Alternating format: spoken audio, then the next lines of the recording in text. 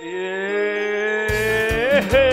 a Dios, gloria a Dios, gloria a Dios, gloria a Dios, gloria a Dios, gloria a Dios. Vámonos a nuestra primera enseñanza. Evangelio según San Marco capítulo 7. Vamos a comenzar nuestra lectura desde el versículo número 31. Como siempre les recuerdo a los que nos sintonizan por primera vez que ya los versículos anteriores los estudiamos en el día de ayer, porque vamos versículo a versículo, capítulo a capítulo, escudriñando la palabra del Señor. Así que le invito porque hay una palabra poderosa para nosotros. Hay esperanza, hay milagros y los milagros no han pasado de moda. Vamos a pedir el evangelista Lester Noriega, por favor, hijo mío, léenos la palabra. Amén. Vamos a leer con la bendición del Padre, del Hijo y del Espíritu Santo. Amén. Volviendo a salir de la región de Tiro, vino por Sidón al mar de Galilea, pasando por la región de Decápolis. Y le trajeron un sordo y tartamudo, y le rogaron que le pusiera la mano encima. Y tomándole aparte de la gente, metió los dedos en las orejas de él, y escupiendo tocó su lengua. Y levantando los ojos al cielo, gimió y le dijo, Éfata, es decir, sea abierto. Al momento fueron abiertos sus oídos y se, destacó la, se desató la ligadura de su lengua y hablaba bien. Y le mandó que no le dijese a nadie, pero cuanto más le mandaba, tanto más lo divulgaban.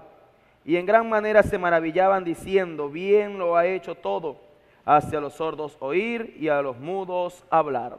Padre nuestro que estás en el cielo, te damos gracias Hemos leído tu palabra, háblanos en esta mañana en labio del pastor Ali, los hermanos que le acompañan, en esta primera enseñanza, en el nombre de Jesús, amén y amén. Toda la gloria es para el Señor. Tenemos aquí una palabra maravillosa, una palabra muy especial y quiero seguir compartiendo, hemos estado viendo los evangelios, compartiendo principios, verdades, pasos, ingredientes secretos bíblicos para recibir un milagro del Señor. No es tan complicado, son pasos sencillos. Y lo primero que encontramos aquí es que había un hombre que era mudo, que era sordo, la escritura dice tartamudo, algo que no es muy común, siempre la, mayoría de, que son sordos también son mudos, pero este medio hablaba tartamudeado, pero, pero lo hacía. Lo cierto es que tenía problema, porque alguien tartamudo hablando es un problema y aparte que es sordo no sabe qué es lo que está diciendo. Ahora, imagínese, para oírse era una muy complicado. Ahora, lo primero que vamos a ver aquí es el primer paso de fe. Este milagro es hecho en tierras gentiles. Hay muchos milagros, parece que los otros evangelios no registran este milagro. Es un milagro exclusivo porque es en tierra gentil donde sucede este milagro maravilloso, sucede este milagro muy, pero muy especial en esta tierra gentil. Ahora, quiero que me escuche, que me preste atención. El primer paso de fe lo dieron la gente que lo trajo. El versículo, eh, el, versículo 31 dice que Jesús volvió a salir de la región de Tiro, luego registra que vino por Sidón al mar de Galilea.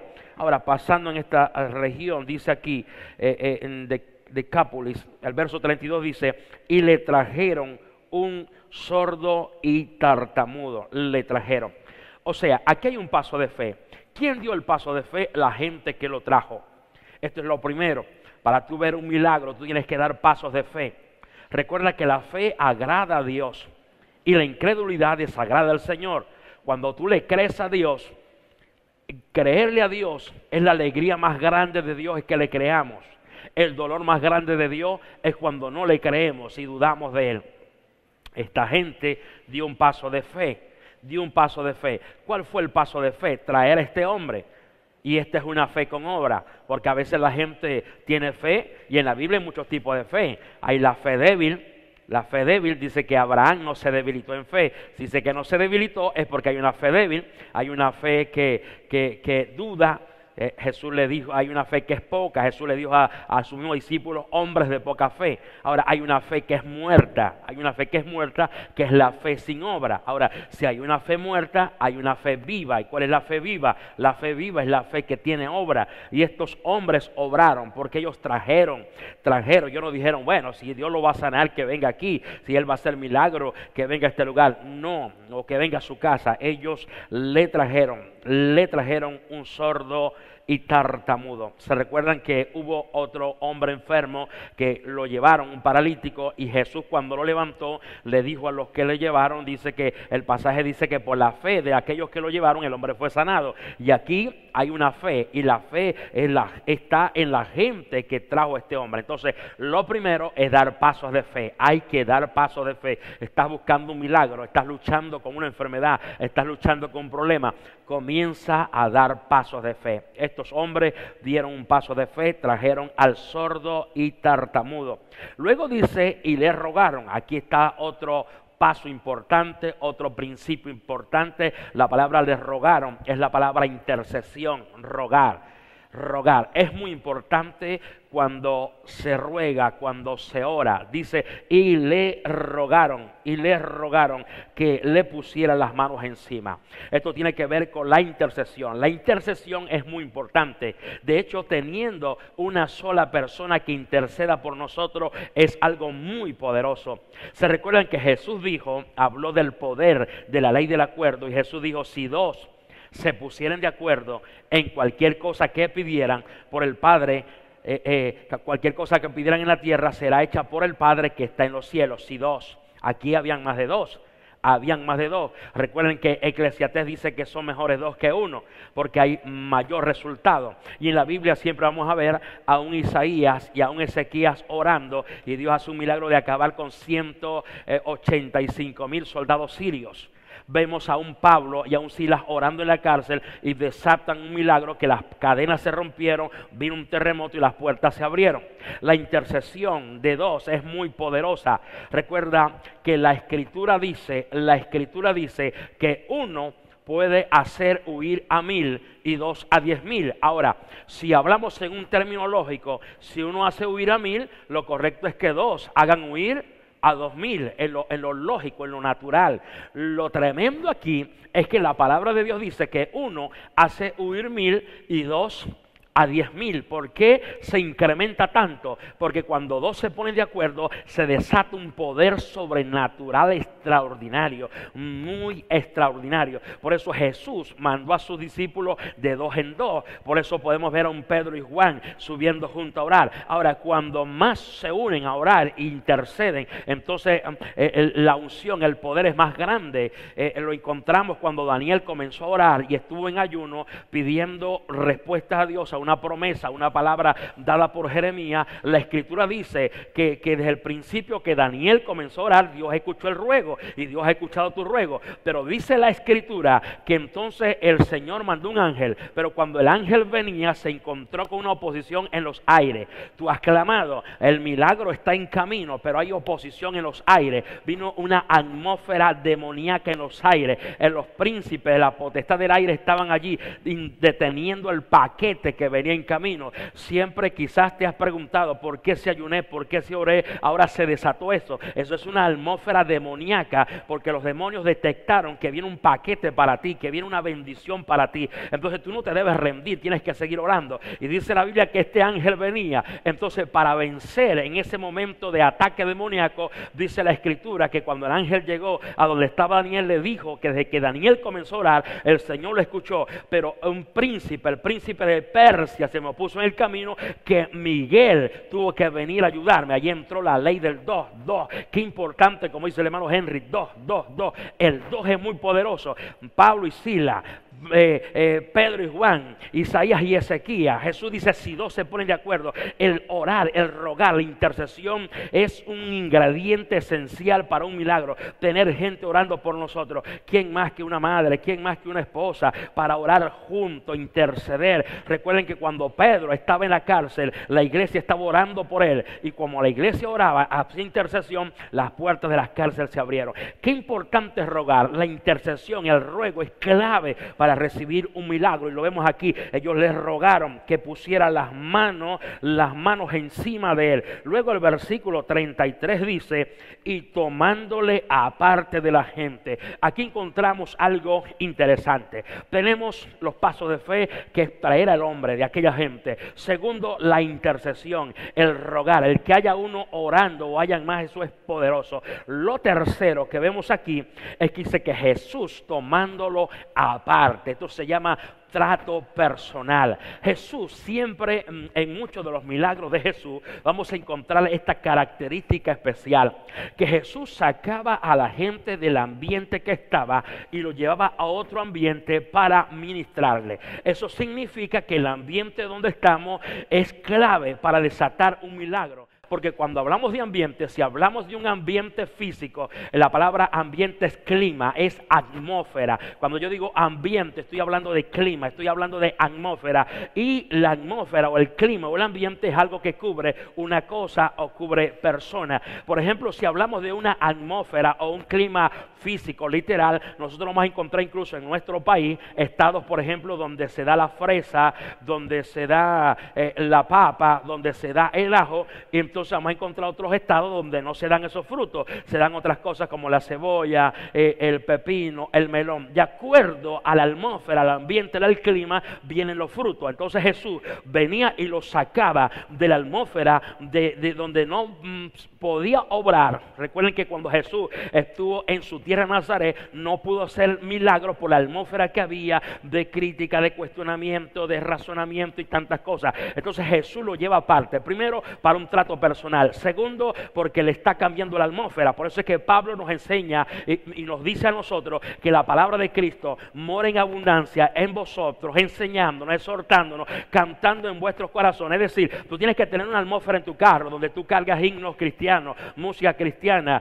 Yo, por ejemplo, cargo los proverbios allí en audio en, el carro, cargo algunos mensajes, eh, eh, cargo algunos pensamientos, algunas cosas, pensamientos bíblicos y todo eso, porque eso hace una atmósfera, un ambiente en tu, en tu cocina debe haber un reproductor donde escuchas los matutinos. En, tu sala debe estar un televisor donde estás viendo estos matutinos, porque eso va a desatar una atmósfera, un ambiente donde Dios puede glorificarse. No dice la escritura que Dios habita en la alabanza, que Dios, aleluya, alabado sea Dios. Hay ambientes que desatan el poder de Dios. Y, es tan maravilloso, hermano Henry, que me estoy emocionando, porque fíjate que incluso cuando hablamos de dos o hablamos de tres, tiene que ver con unidad, tiene que ver con unidad. Y la unidad en la iglesia, la unidad en el ministerio, la unidad hace un ambiente tan especial que la Biblia dice, mira cuán bueno, cuán delicioso es habitar los hermanos juntos en armonía. Eso crea una atmósfera, estar juntos en armonía y habitar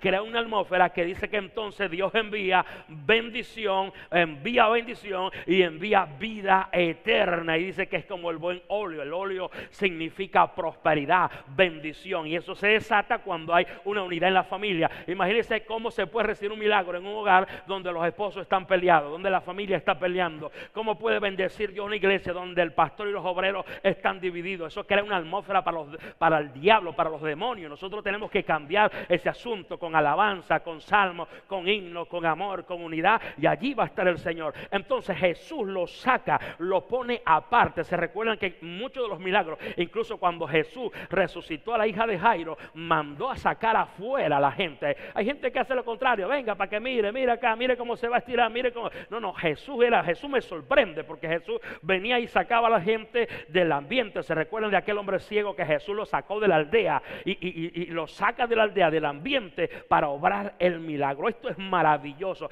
Yo no sé en qué ambiente, en qué atmósfera, en qué clima tú andas, aleluya. Pero nosotros es importante vivir en una atmósfera de milagro. Eso lo vimos en Barcelona, la atmósfera que había en Barcelona, lo que yo oí por la radio, lo que he visto es una atmósfera de milagro, porque un pueblo unido, una iglesia alabando, adorando, intercediendo, ayunando, y eso desató la gloria de Dios en esa ciudad. Y eso es lo que hacía Jesús. Entonces Jesús lo saca, dice aquí, tomándolo aparte de la gente, aparte de la gente. Luego Jesús le ministra, metió los dedos en las orejas de él y escupiendo tocó su lengua. Es la, la- parte entonces, diríamos, literal que el Señor hacía para que la gente pudiera tener un contacto y recibir el milagro. Tu punto de contacto hoy es el televisor, tu punto de contacto hoy es la radio. Cuando hagamos la oración, pon la mano sobre la radio. No te vamos a tocar los oídos hoy, las orejas, no te vamos a poner la mano en la boca, pero tú vas a hacer un contacto. La idea de esto es un contacto, un contacto como lo que hizo Eliseo cuando se ahogó el hacha, tiró allá un palo para que el hacha flotara. Tiene que haber un contacto y esto desata fe. Haz un contacto hoy con el televisor, con la radio, pero mm, viendo los matutinos, no viendo otra cosa, para que puedas conectarte con el Dios divino. Aleluya. Y quiero cerrar aquí con el versículo 34 que dice, y levantando los ojos al cielo gimió y le dijo, fíjese que aquí ent- entramos de nuevo, dice que levantando los ojos al cielo, levantando los ojos al cielo es diciendo, yo dependo de Dios y lo que va a suceder aquí es por la mano del Señor, es por la mano de Dios. Siempre la gloria tiene que ser de Dios, siempre la gloria tiene que ser del Señor. Recuerdo una vez un milagro que hubo en una ciudad y, y- y- y- alguien me dice, no, no, yo fui el que le oré y se sanó. Después eh, a los días me llega otra persona y me dice, no, yo fui el que le oré y se sanó. Después otro, yo, yo entonces yo dije, yo, yo sé que lo sanó fue el Señor, pero la gente a veces se pelea por llevarse la gloria. ¿Quién sería? Fue la oración mía, fue el ayuno mío, fue no la gloria, gloria siempre es de Dios. Y por eso Jesús dice que levantando los ojos al cielo, diciendo, es Dios quien lo va a hacer, es el Señor el que va a obrar. Del cielo viene la respuesta, alzaré mis ojos a los montes. ¿De dónde vendrá mi socorro? No de los montes, viene desde arriba, de Jehová, el Dios de los ejércitos.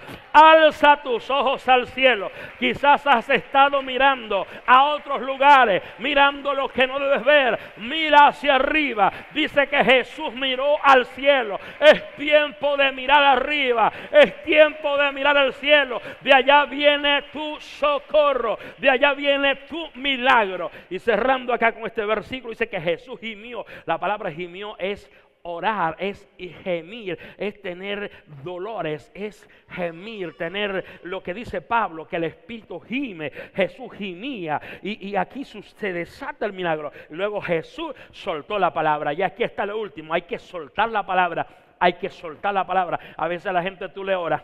Y entonces le suelta la palabra y vuelven otra vez. Hermano, póngame las manos. Ya te soltaron la palabra. Ya te soltaron la palabra. Jesús le soltó la palabra. ¿Y como dijo Jesús? Dice que aquí le habló en arameo y dijo, Jesús dijo, éfata, que quiere decir, sé abierto. Jesús soltó la palabra. Escúchame esto. El dicho del Señor es un hecho. El dicho del Señor es un hecho. Él dijo, sea los cielos, fue los cielos. Sea la tierra, fue la tierra. Todo lo que el Señor dice, el dicho de Dios es un hecho. Por eso la Biblia dice que la palabra de Jehová será prosperada en aquello que Él envió. Cuando Dios suelta una palabra, Él no la recoge, ya salió de su boca y va a ser prosperada. Por eso si Dios te habló algo, tranquilo, lo que Dios soltó no lo va a recoger. Eso se va a cumplir en ti. El dicho de Jehová es un hecho. Él dijo, éfata, se abierto y se abrieron. Se abrió el oído, como dijo Isaías, se soltó la lengua del mudo, del tartamudo, comenzó a hablar bien y comenzó a oír bien. Soltó la palabra y hoy yo te suelto la palabra. Éfate, sé abierto, sé sano, sé libre, sé libre, sé bendecido, sé próspero por Dios. ¡Yeah! ¡Aleluya!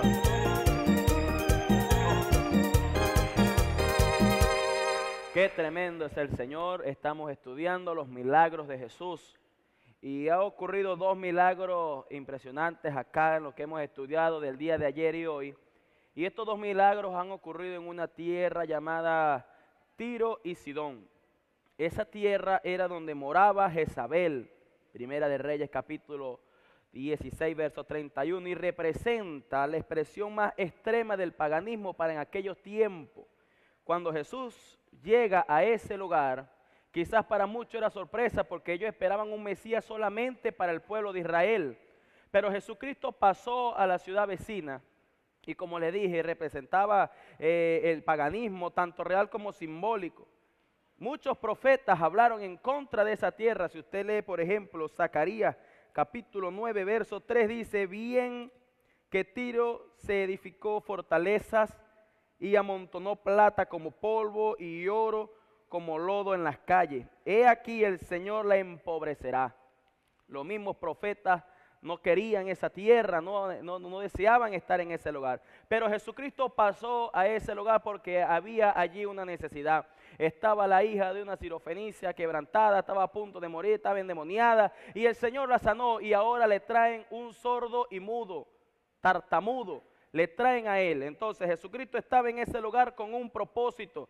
Quizás tú te preguntas, bueno, Hoy prendí el televisor y cayó este canal. Mire, eso cayó allí por un propósito. Usted nos está escuchando esta mañana porque Dios tiene un propósito para con su vida. Usted que ha sintonizado la emisora, Dios tiene un propósito para con su vida en este día. No es casualidad de que hoy usted esté escuchando el mensaje de salvación. No es casualidad de que hoy usted esté escuchando el mensaje de Jesucristo. Es que Jesucristo tiene un propósito para su vida. Si Él pasó a aquella región, Él pasó con un propósito. Y hoy está acá en nuestros días, en este lugar porque tiene un propósito para con nosotros, que tiene propósito de bien para con nosotros y no de mal. El propósito del Señor es de bendecirle su vida, de bendecirle su familia, de bendecirle sus hijos, de bendecir su matrimonio, de bendecir su esposa, de bendecir su esposo. La bendición de Dios es la que enriquece, dice la Biblia, y no añade tristeza con ella, de manera que usted no aparte la sintonía, no deje de escuchar el matutino, no deje de escuchar la emisora, no deje de escuchar el televisor, porque algo grande tiene el Señor para usted en este día. Si usted lo cree, usted lo va a recibir. Ya la palabra está en los aires,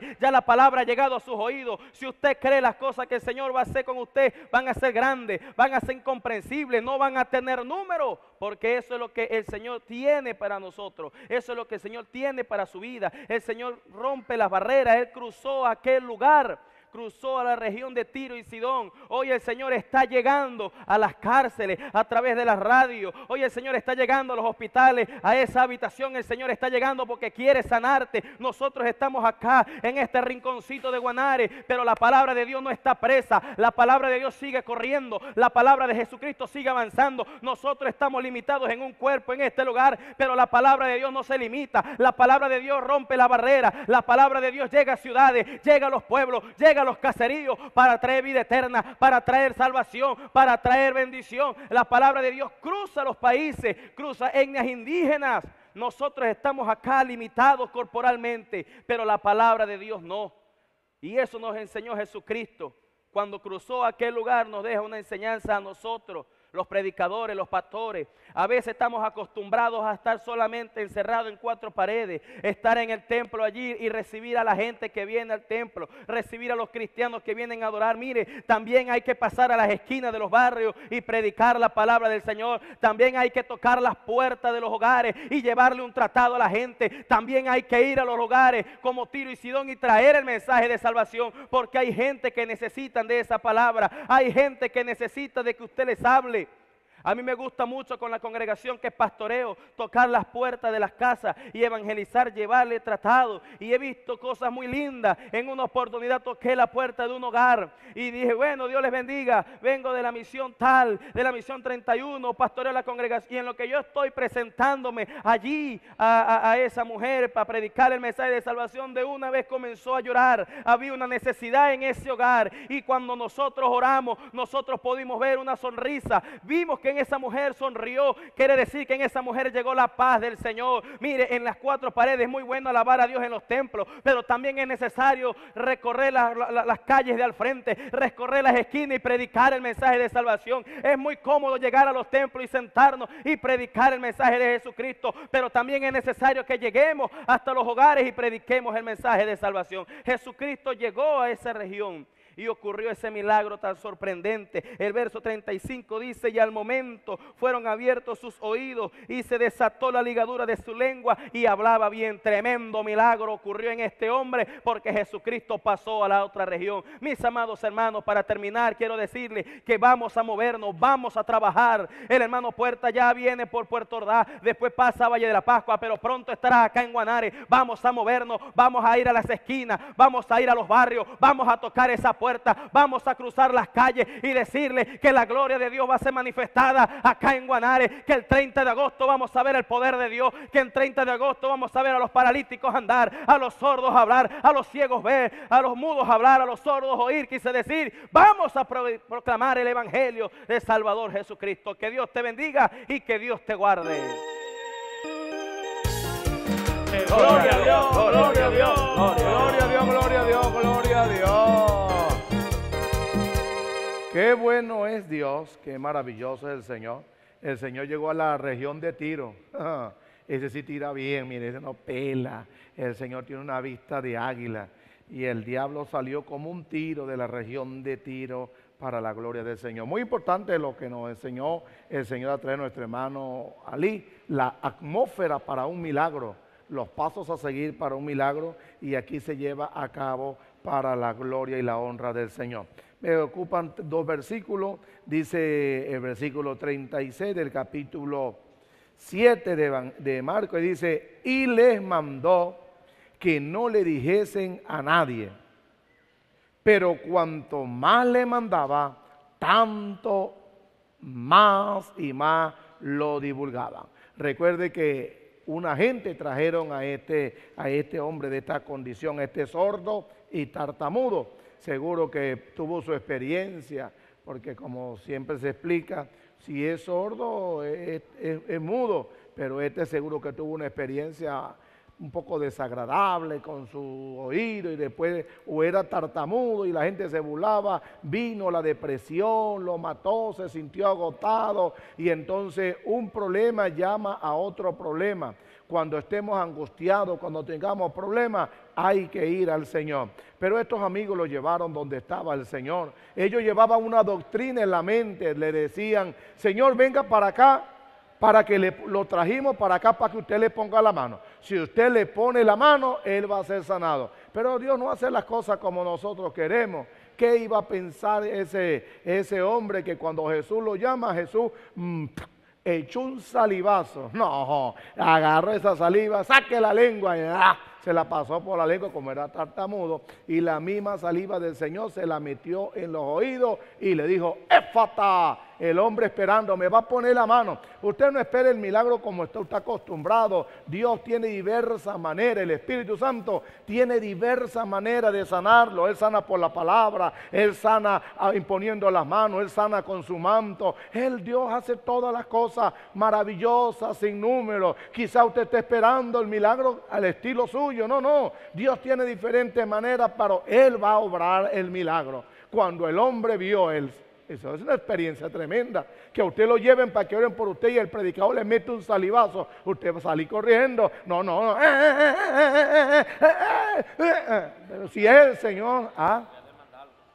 Voy a demandarlo. ¿Cómo me va a escupir? Este sí es mal educado. ¿Cómo me va a meter saliva de él en la boca? Caja, caca. No, no. Él necesitaba un milagro. Y si el Señor le dice arrodíllese, arrodíllese. Si el Señor dice póngase de espalda, póngase de espalda. ¿Qué hace usted cuando va al médico? El médico le diga, le dice, diga 33, saque la lengua, pele el ojo, mueva la mano y además de eso le paga. Aquí el asunto es gratis. El hombre recibió el milagro. Si hay que ir para la concentración del hermano Puerta, vamos. Si hay que ir para el culto donde está un hermanito solo, ahí está la atmósfera de Dios. Dios es amplio, Dios es poderoso. Dios nos trajo aquí el matutino. Usted está aquí en una condición difícil. Se ha dicho que el que se siente ahí va a recibir milagros. Usted créale a Dios, porque al que cree todas las cosas le son posibles. No hay nada imposible para Dios le dieron el salivazo, le metieron saliva en la oreja, le metieron saliva y Jesús le dijo en un idioma que él no entendía.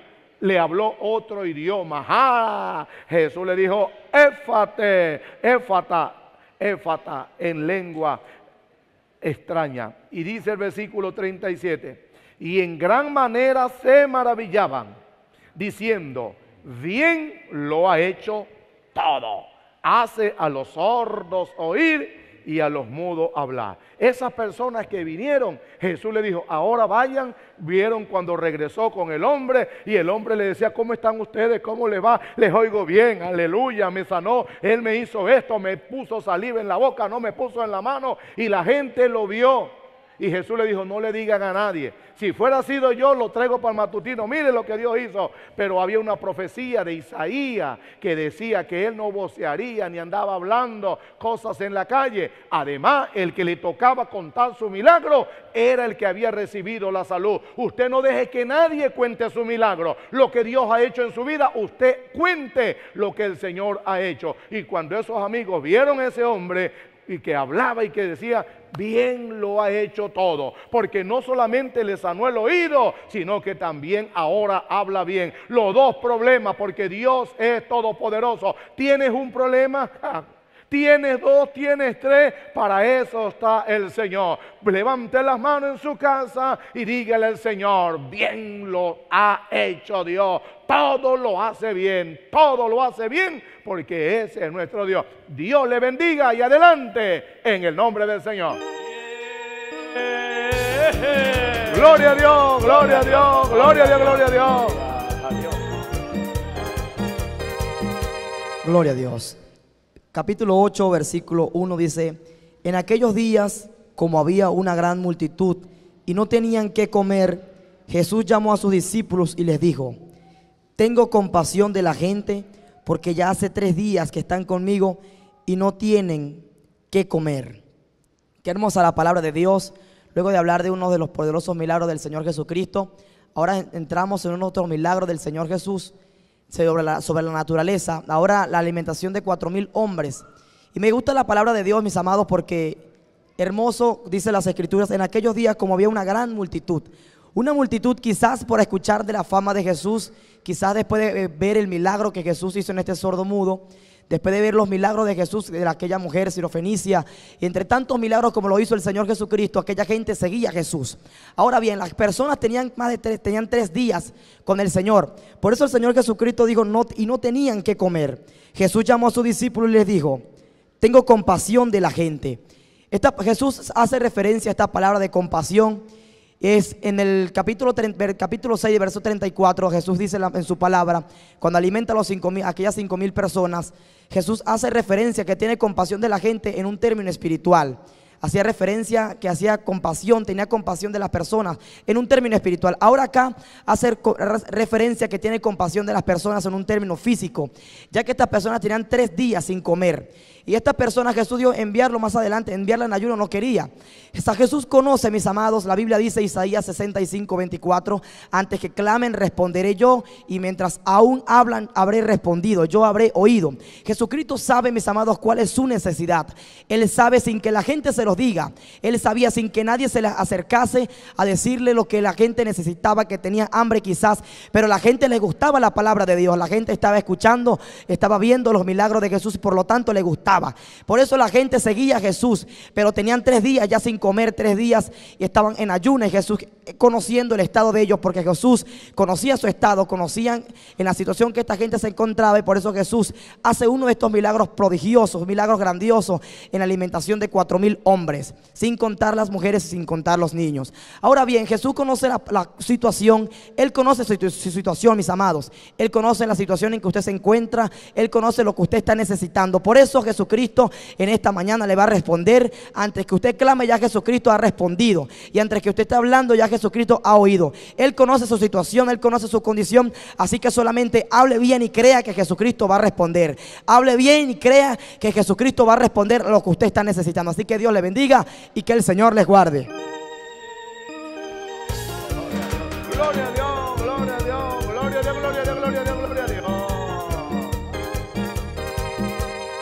Gloria a Dios me corresponde el versículo 3 y 4. Dice de la manera siguiente, y si los enviares en ayunas y a sus casas se desmayarán en el camino pues algunos de ellos han venido de lejos. Sus discípulos le respondieron, ¿de dónde podrá alguien sacar pan para estos? Gloria a Dios. Vemos aquí, mis amados hermanos, el gran milagro que el Señor está haciendo. Aquí dice el, el texto que Jesús es el Hijo de Dios, pero que Él, mis amados hermanos, aquí está haciendo los milagros. Vemos a Jesús desbordado haciendo milagros. Y hoy podemos entender nosotros que Jesucristo todavía está haciendo milagros, está sanando a los enfermos, está haciendo caminar a los paralíticos. Jesús ahora es la oportunidad que el mundo que nos oye puede hacerse, hacerse de este Jesús. Pero vemos aquí la multitud que había allí en aquel entonces cuando Jesús andaba por la tierra predicando el Evangelio. Y vemos que aquí la multitud era muy grande y que tenían tres días ya sin comer, sin gustar alimento. Entonces Jesús le dice, si los enviaren ayuno a su casa, se desmayarán por el camino. ¿Por qué? Porque era largo el camino, la trayectoria de algunos caminaban mucho tiempo y seguramente hay cerritos que subir y allí se iban a desmayar. Pero aquí sucede lo mejor, el milagro más grande. Dice el 4, sus discípulos le respondieron, ¿de dónde podrá alguien sacar, saciar de pan a esto aquí, eh, aquí en el desierto? Hermano, ellos no lo sabían y en verdad estaba en, eh, en una palabra cierta.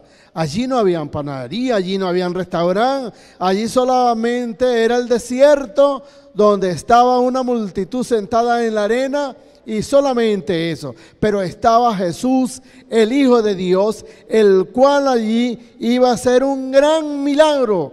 ¿Por qué? Porque Él todo lo puede. Y hoy, amigo, usted que nos oye a través de estos medios, hoy puede hacer el milagro para usted. Hoy puede usted entender esta palabra y venir a los pies de Cristo. Usted que camina de espalda hacia Dios, Dios puede hacer un gran milagro sanándole, sanándole su alma, salvándole su alma. Entonces le esperamos por usted. Amigo, arrepiéntase, venga Cristo, Él quiere salvarlo. Que Dios le bendiga.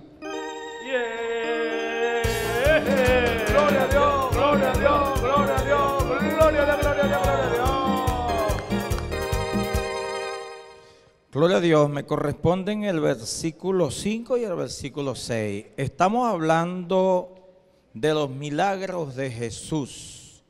Y este era uno más. Jesucristo pudo haber enviado a la gente y pudieron haber llegado cada uno a su casa sin desmayarse porque el Señor tiene poder para fortalecer el organismo. Solo que Dios, el Señor permitió esto para glorificarse, para que el hombre vea el poder de nuestro Dios. Dice, Él les preguntó, ¿cuántos panes tenéis? Ellos dijeron, siete. Relativamente, comparar siete panes para una multitud como la que estaba alrededor del Señor era insignificante. Realmente físicamente es imposible poder alimentar más de cinco mil personas con siete panes. Eso no cabe en la cabeza de ningún entendido de la tierra, pero sí en el poder de Dios.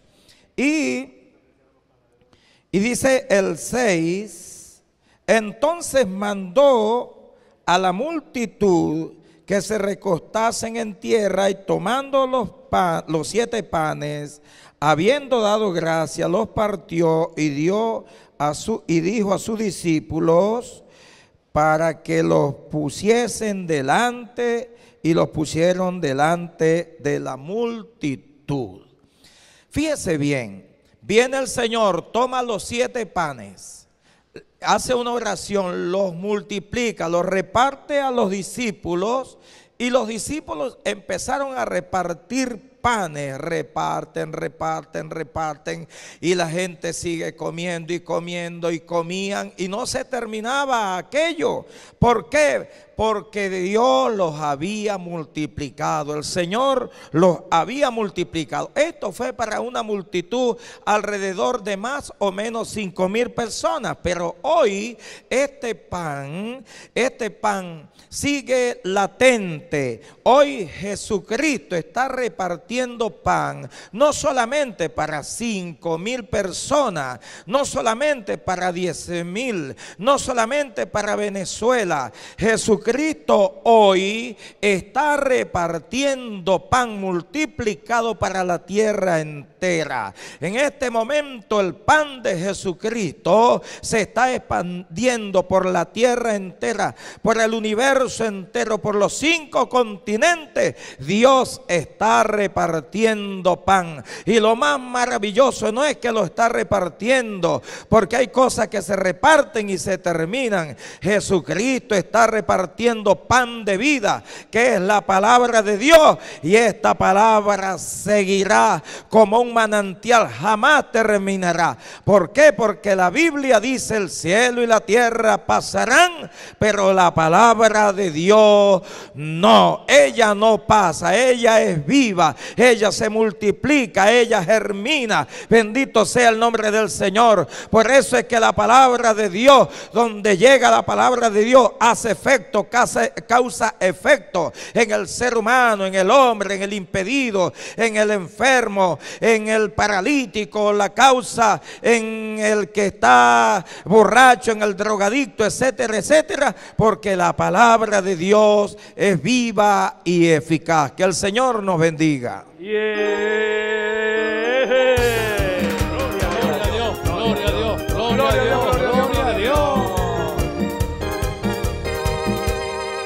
Versículo 7 del capítulo 8 y el versículo 9 dice, tenían también unos pocos pececillos y los bendijo y mandó que también los pusiese delante. Y comieron y se saciaron. Y recogieron de los pedazos que habían sobrado siete canastas. Estamos viendo los milagros gloriosos de nuestro Salvador y Señor Jesucristo. Y verdad que aquí nos quedamos sorprendidos de ver esas maravillas de nuestro Salvador Jesucristo. Cuando anduvo en su ministerio anunciando y enseñando la palabra del Señor. Esta mañana estamos compartiendo los milagros de ese mismo Cristo, porque el mismo Cristo de ayer es el mismo Cristo de hoy.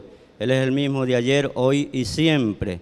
Y la Biblia dice que nada hay imposible para Dios. Y hoy estamos contemplando las maravillas de Dios y esas maravillas se siguen extendiendo y dice los versos que acabo de leer, que allí alimentó a más de cuatro mil personas, sin contar a los niños y las mujeres viendo allí que era imposible que estos siete panes, allí dice, y unos pocos pececillos, era imposible que pudiesen alcanzar a la vista del ser humano, pero Jesús poniendo sus manos los bendijo y dice las escrituras que a todos les, dio su porción y dice que sobraron siete cestas.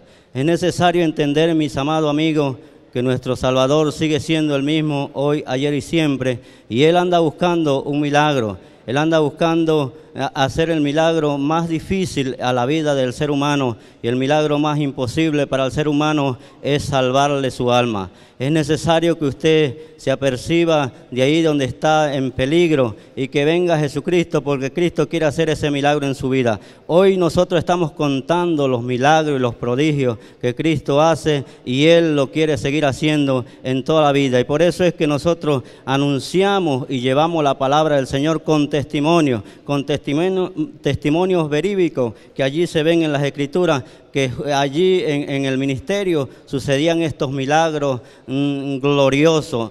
Hoy Cristo sigue haciendo milagros. Es necesario, mi estimado amigo, que usted atienda la palabra. Es necesario. A veces nosotros cuando llegamos allí a la hora de la oración, vemos que Dios hace milagros, porque a veces, mis amados, una hora que estamos allí llegan hasta 100 mensajes. Y decimos que Dios es el que está haciendo milagros porque la gente está oyendo y viendo los milagros de Jesús. Es necesario, mi amado, que usted atienda el llamado de Dios. Que Dios me le bendiga y que Dios me le guarde.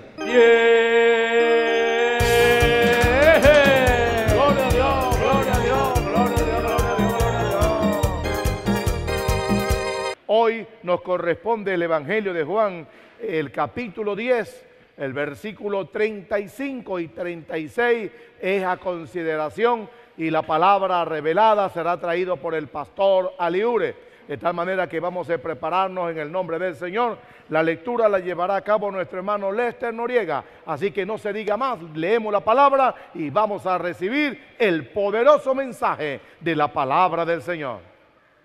Si llamó dioses a aquellos a quienes vino la palabra de Dios, y la palabra no puede ser quebrantada, al que el Padre santificó y envió al mundo, vosotros decís, tú blasfemas, porque dije, Hijo de Dios soy. Padre nuestro que estás en el cielo, te damos gracias, hemos leído tu palabra. Usa a nuestro hermano Ali en la conclusión de este día. Háblanos en esta mañana, en el nombre de Jesús. Amén y amén. Toda la gloria es para el Señor. No hay peor ciego que aquel que no quiere ver. Y estos fariseos y estos judíos de aquel entonces, ellos hacían preguntas a Jesús y Jesús respondía. Y llegó un momento que ellos dijeron, ¿hasta cuándo nos turbarás? Dinos, eres el Hijo de Dios, eres el Cristo. Y dijeron, ¿hasta cuándo nos turbarás? La gente sin Dios, la gente incrédula, siempre piensa que nosotros somos los turbadores. Le dijeron por allá al profeta Elías, eres tú el que turba a Israel. Y mucha gente incrédula piensa, eso es evangélico. ¿ah? Por culpa de los evangélicos no llueve, dijo alguien una vez en un pueblo, por culpa de los evangélicos. La gente, el mundo, el mundo ama siempre lo suyo. Y ellos le dijeron a Jesús, ¿hasta cuándo nos turbarás? ¿Hasta cuándo? ¿Hasta cuándo? Dinos, eres el Cristo. Y Jesús viene y le dice, sí, soy el Cristo, el Hijo de Dios. Entonces, después que Jesús dice esta palabra, dice la escritura que ellos querían matar a Jesús, querían apedrearlo. Y Jesús dice, muchas cosas buenas he hecho entre ustedes, ¿por cuál de ellas me apedreáis? Y ellos dijeron, no te apedreamos por ninguna cosa buena, sino por las blasfemias que tú dices. Tú has blasfemado. ¿Y por qué ellos están acusando y condenando a Jesús de blasfemo? Sencillamente porque Jesús dijo que era el Hijo de Dios. Entonces ellos dicen, tú te haces Dios a ti mismo.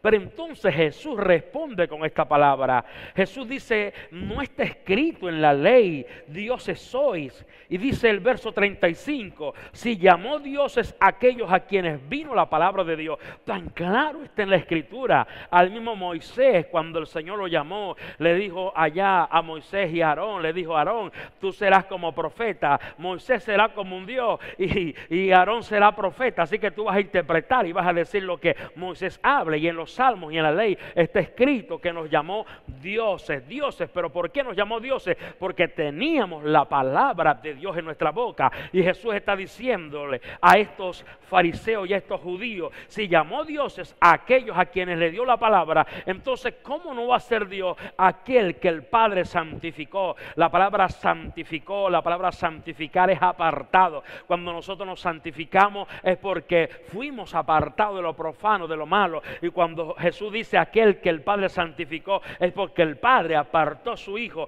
con una misión muy especial, lo envió a esta tierra. Pero no hay peor ciego que aquel que no quiere ver. Ellos no querían aceptar esta palabra. Jesús dice aquí, y aquel y que el Padre santificó y envió al mundo, vosotros decís, tú blasfemas porque dices, Hijo de Dios soy. Jesús era el Hijo de Dios, no hay duda alguna. Jesús es el Hijo. Y la Escritura dice, el que cree en el Hijo tiene la vida eterna. Esta gente no creyeron en el Hijo, sino que rechazaron al Hijo de Dios. ¿Tú qué harás?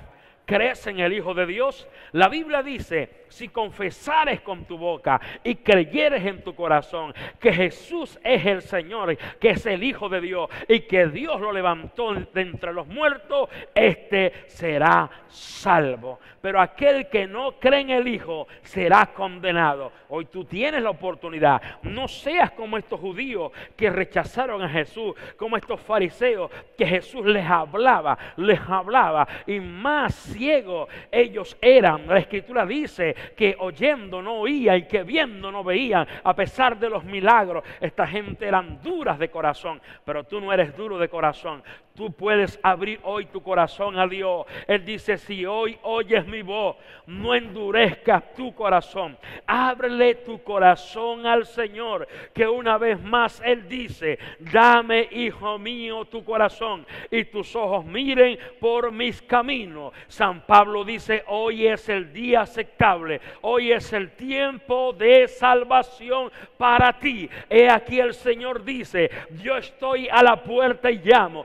Alguno oye mi voz y abre la puerta, estos judíos, estos fariseos rechazaron, no abrieron la puerta. El Señor no entra a la fuerza, el Señor no entra juro, no, ni, ni forzando la puerta. Él es amable y Él toca toca la puerta de tu corazón. Tú decides si le abre la puerta. Los fariseos, estos judíos fariseos no abrieron la puerta de su corazón, pero hoy te toca a ti. En aquel entonces le tocó a ellos. Ellos le rechazaron, ellos le, condenaron, ellos buscaban matarlo, lo apedrearon. Pero tú en estos momentos, ¿qué harás con Jesús? ¿Lo vas a rechazar? o le vas a abrir tu corazón. Él no entra a la fuerza. Tú decides si abres tu corazón hoy al Señor. No hay casualidad en estos momentos, tú estás viendo estos matutinos, tú estás escuchando esta palabra. No hay casualidad, esto lo coordinó Dios, esto lo programó Dios. Hoy es el día, Dios te encontró, Él te ha encontrado en esta hora. Es el momento de tener un encuentro personal con el Cristo de la gloria. Es el momento de tener un encuentro con Dios. Así que yo te animo en esta hora a que le abras tu corazón, a que no lo rechaces, a que, a que no lo desprecies, que tú en estos momentos no seas como estos fariseos, sino que abra tu corazón al Señor. Mientras estos fariseos lo rechazaron, hubieron otros que creyeron en Él, que abrieron su corazón, que le recibieron. La Biblia dice, a los suyos vino, mas los suyos no le recibieron, mas a los que le reciben, a los que creen en su nombre, les dio potestad, les dio autoridad de llamarse también hijo de Dios. No solamente Jesús es el hijo de Dios, sino que aquellos que reciben al hijo de Dios también pueden llamarse hijos de Dios. Por eso San Juan dice, mira cuál amor nos ha dado el Padre para que seamos llamados los hijos de Dios. Hoy somos llamados los hijos de Dios. Tú también puedes ser llamado hijo de Dios si le recibes en tu corazón al Hijo de Dios, Jesús de Nazaret. Amén.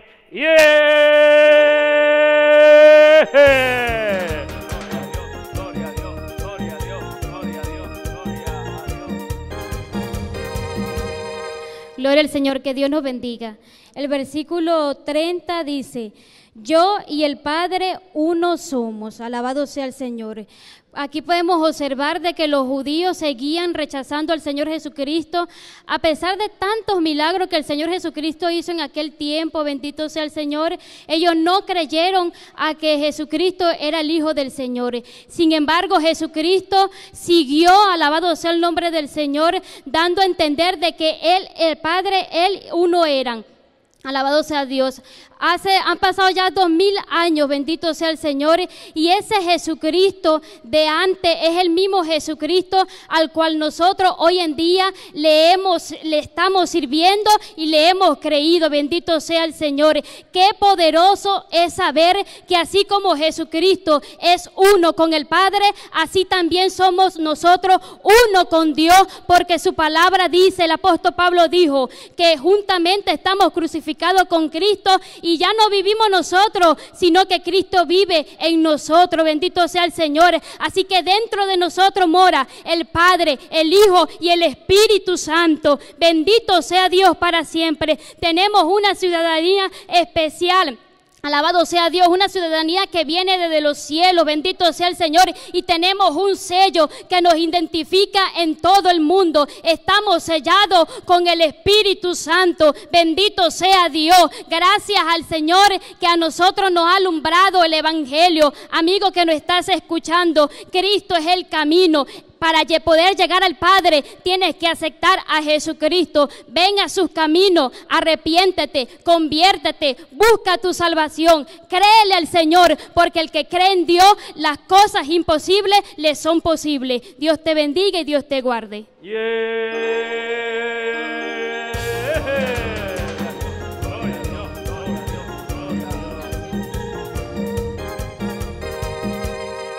Me corresponde el verso 31. Entonces los judíos volvieron a tomar piedras para apedrearle. Aquí vemos, ¿verdad? Estamos estudiando que los judíos rechazaban a Jesucristo. Ellos estaban allí, los judíos en Jerusalén, como dice aquí, en una fiesta, celebraban las fiestas de, en Jerusalén en tiempo de invierno, era tiempo de invierno y ellos iban allí a celebrar esa fiesta. Pero Jesús estaba ya cerca de ese templo, rodeado, ¿verdad? Ellos fueron y buscaron al Señor. Si se dan cuenta, ellos los judíos fueron y buscaron al Señor para qué?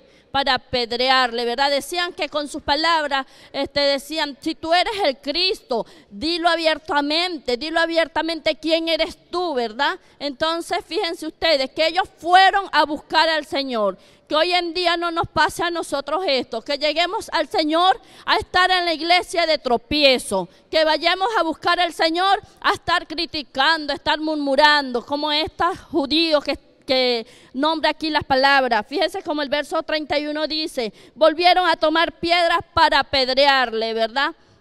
Vemos aquí que van, van a donde Él está solamente para criticarlo, pero nosotros hoy día no. Nosotros estamos en la iglesia para una ayuda hacia el pastor, buscando al Señor Jesucristo, ¿verdad? Buscando de Él, buscando de su presencia. Que nosotros no estemos de tropiezo. Si nosotros somos verdaderamente hijos de Dios, debemos dejarnos ayudar por nuestro pastor. No es que la primera, que el pastor vaya a darnos un consejo, vayamos y salgamos corriendo a buscar de otra iglesia donde congregarnos.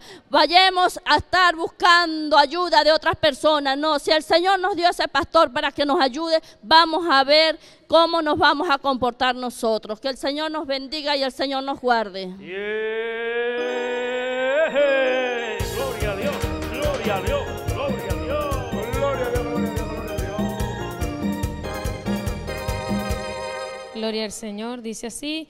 Jesús le respondió, muchas buenas obras os he mostrado de mi Padre, por cuál de ellas me apedráis. Gl- Gloria a Dios. Aquí el Señor le estaba hablando a los judíos que muchas obras había hecho Él por medio del Padre, porque si Él no hacía esas obras, no iban a creer. Entonces el Señor Jesucristo tenía que hacer las obras, como sanar a aquella mujer del flujo de sangre, como hacer que la lengua de aquel tartamudo hablara bien para que escuchara. También tenía que hacer muchas obras. La Biblia dice en el libro de Lucas 24, 19 que cuando los discípulos, dos de los discípulos iban por el camino de Enmaú, ellos decían que aquel hombre había hecho grandes obras, pero con la ayuda del Padre, gloria a Dios. Entonces el Señor tiene que mostrar su gloria. ¿Para qué? ¿Para qué? Para que aquellos que no crean, crean, porque aquellos si no ven, no creen. Así como Tomás que dijo, si yo no veo al Señor Jesucristo, no meto mis dedos en, su, en sus heridas, yo no voy a creer. No seamos incrédulos, pueblo de Dios. No sea incrédulo, amigo. Crea que el Señor Jesucristo hizo obra y sigue haciendo. Mire que el, el Señor el 30 de agosto se va a glorificar aquí en Va a levantar a paralíticos de la silla. Va a hacer a ciegos ver. Porque creemos que el Señor sigue haciendo milagros. El Señor sigue haciendo los milagros que hacía en aquellos tiempos. El libro de Juan dice... 3.19 dice que la luz vino al mundo, pero muchos amaron las tinieblas porque sus obras eran malas. No dejes que tus obras sean malos, querido amigo. No dejes que tus obras lleguen, que tú no llegues a los caminos del Señor. Ven a la luz del Señor, que Él puede cambiar tu vida. Si tú estás enfermo, Él puede levantarte de esa enfermedad. Si tú estás paralítico, Él te puede levantar de esa silla. Si tú eres sordo, Él te puede hacer escuchar. Si tú eres ciego, Él te puede hacer ver. El Señor tiene poder para hacer grandes milagros. Dios te bendiga y Dios te guarde. Gloria a Dios, gloria a Dios, gloria a Dios. Gloria a Dios. Gloria a Dios. Eh, Juan 10, versículo 33 y 34 dice así. Le respondieron los judíos diciendo, por buenas obras no te apedreamos, sino por la blasfemia, porque tú siendo hombre te haces Dios. Jesús le respondió, no está escrito en vuestra ley, yo dije, dioses soy. Gloria a Dios.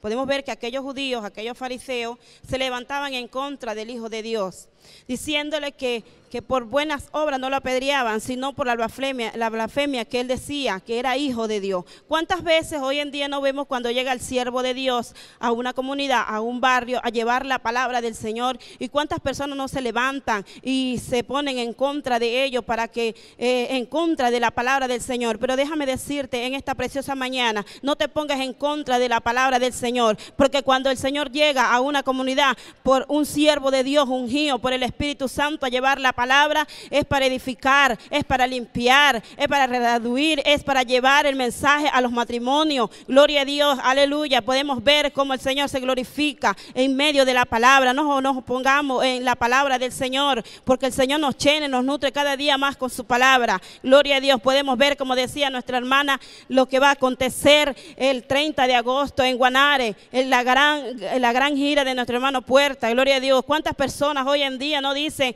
eh, y se preguntan y empiezan, muchos critican de lo que viene para acá, para Guanare, pero podemos ver que muchas personas van a quedar atónitas, muchas personas van a quedar sorprendidas lo que va a pasar aquí en Guanare. Los paralíticos se van a levantar de sus sillas, los sordos van a oír, los ciegos van a ver. Podemos ver cómo se va a glorificar el Señor en Guanare con esa gran concentración. Te hacemos la invitación, querido amigo, querida amiga, a ese lugar, a ese lugar de concentración para que oiga la palabra del Señor, para que llegues ahí como amigo, como amiga y vas a salir como un hermano restaurado por medio de la palabra, por el siervo de Dios. Dios te bendiga, Dios te guarde.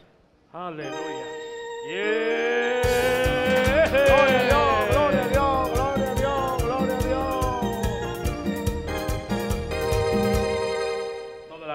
para el Señor. Llegó el momento de la oración de entrega al Señor. Así que quiero que abras tu corazón al Señor y repitas estas palabras conmigo.